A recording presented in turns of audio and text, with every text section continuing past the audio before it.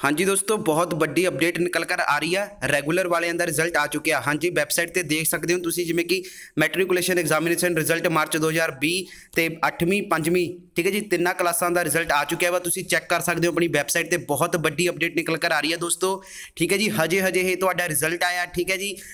ਪੰਜਵੀਂ 8ਵੀਂ 10ਵੀਂ ਜਿਹੜੇ ਰੈਗੂਲਰ ਦੇ ਵਿਦਿਆਰਥੀ ਸੀ ਤੇ ਕੰਪਾਰਟਮੈਂਟ ਦੇ ਜਿਹੜੇ ਵਿਦਿਆਰਥੀ ਸੀਗੇ, ਠੀਕ ਹੈ ਜੀ ਰੈਗੂਲਰ ਦੇ ਅੰਦਰ, ਉਹਨਾਂ ਦਾ ਰਿਜ਼ਲਟ ਆ ਚੁੱਕਿਆ। ਤੁਸੀਂ ਆਪਣਾ ਰਿਜ਼ਲਟ ਚੈੱਕ ਕਰ ਸਕਦੇ ਹੋ ਪੀਐਸਬੀ ਦੀ ਅਫੀਸ਼ੀਅਲ ਵੈਬਸਾਈਟ ਖੋਲ ਲਿਓ, ਠੀਕ ਹੈ ਜੀ। ਫਿਰ ਤੁਸੀਂ ਰਿਜ਼ਲਟ ਵਾਲੇ ਕਾਲਮ ਤੇ ਕਲਿੱਕ ਕਰਨਾ ਵਾ। ਜਦੋਂ ਤੁਸੀਂ ਰਿਜ਼ਲਟ ਵਾਲੇ ਕਾਲਮ ਤੇ ਕਲਿੱਕ ਕਰੋਗੇ, ਤਾਂ ਤੁਸੀਂ ਦੇਖ ਸਕਦੇ ਹੋ ਦੋਸਤੋ matriculation examination result March 2020 available middle examination result March 20 now 2020 now available primary examination result March 2020 now available ਪੰਜਵੀਂ 8ਵੀਂ 10ਵੀਂ ਦਾ ਰਿਜ਼ਲਟ ਆ ਚੁੱਕਿਆ ਵਾ ਰੈਗੂਲਰ ਵਾਲੇ, ਠੀਕ ਹੈ ਜੀ। ਤੁਸੀਂ ਇਸ ਤੇ ਕਲਿੱਕ ਕਰ ਦੇਣਾ ਵਾ ਤੇ ਜਦੋਂ ਤੁਸੀਂ ਇਸ ਤੇ ਕਲਿੱਕ ਕਰੋਗੇ, ਫਿਰ ਤੁਹਾਡੇ ਸਾਹਮਣੇ ਇੰਡੀਆ ਰਿਜ਼ਲਟ ਵਾਲਾ ਇਹ ਵੈਬਸਾਈਟ ਖੁੱਲ ਜਾਏਗਾ ਤੇ ਤੁਸੀਂ ਇੱਥੇ ਆਪਣਾ ਰੋਲ ਨੰਬਰ ਭਰ ਕੇ ਗੋ ਤੇ ਕਲਿੱਕ ਕਰਕੇ ਆਪਣਾ ਰਿਜ਼ਲਟ ਚੈੱਕ ਆਊਟ ਕਰ ਸਕਦੇ ਹੋ। ਤੇ ਦੋਸਤੋ, ਬਹੁਤ ਵੱਡੀ ਅਪਡੇਟ ਠੀਕ ਹੈ ਜੀ 10ਵੀਂ ਪੰਜਵੀਂ, ਅੱਠਵੀਂ ਦਾ ਰਿਜ਼ਲਟ ਆ ਚੁੱਕਿਆ ਵਾ ਵੈਬਸਾਈਟ ਤੇ, ਤੁਸੀਂ ਆਪਣਾ ਰਿਜ਼ਲਟ ਚੈੱਕ ਕਰ ਲਵੋ। ਦੋਸਤੋ, ਸਭ ਤੋਂ ਪਹਿਲਾਂ ਅਪਡੇਟ ਦੇ ਰਹੇ ਹਾਂ, ਤੁਹਾਨੂੰ ਵੀਡੀਓ ਜਰੂਰ ਲਾਈਕ ਕਰ ਦਿਓ। ਜਿਵੇਂ ਕਿ ਅਸੀਂ ਤੁਹਾਨੂੰ ਦੱਸ ਰਹੇ ਸੀਗੇ ਕਿ ਇੱਕ ਹਫ਼ਤੇ ਦੇ ਅੰਦਰ ਰਿਜ਼ਲਟ ਆ ਜਾਣਾ ਤੇ ਅੱਜ ਹੀ ਵੈਬਸਾਈਟ ਤੇ ਅਪਲੋਡ ਕਰ ਦਿੱਤਾ ਗਿਆ ਵਾ ਰਿਜ਼ਲਟ ਤੇ ਦੋਸਤੋ, ਤੁਸੀਂ ਆਪਣੇ 10ਵੀਂ 5ਵੀਂ 8ਵੀਂ ਵਾਲੇ ਰਿਜ਼ਲਟ ਚੈੱਕ ਆਊਟ ਕਰ ਸਕਦੇ ਹੋ। ਦੋਸਤੋ, ਬਹੁਤ ਵੱਡੀ ਅਪਡੇਟ ਹੈ ਤੁਹਾਡੇ ਲਈ।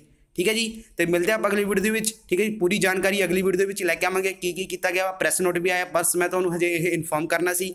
ਤੇ ਚਲੋ ਠੀਕ ਹੈ ਜੀ, ਮਿਲਦੇ ਆਪਾਂ ਅਗਲੀ ਵੀਡੀਓ ਵਿੱਚ ਵੀਡੀਓ ਜਰੂਰ ਲਾਈਕ ਕਰ ਦਿਓ ਦੋਸਤੋ ਓਕੇ ਬਾਏ ਮਿਲਦੇ ਆਪਾਂ ਅਗਲੀ ਵੀਡੀਓ ਦੇ ਵਿੱਚ ਬਾਏ ਬਾਏ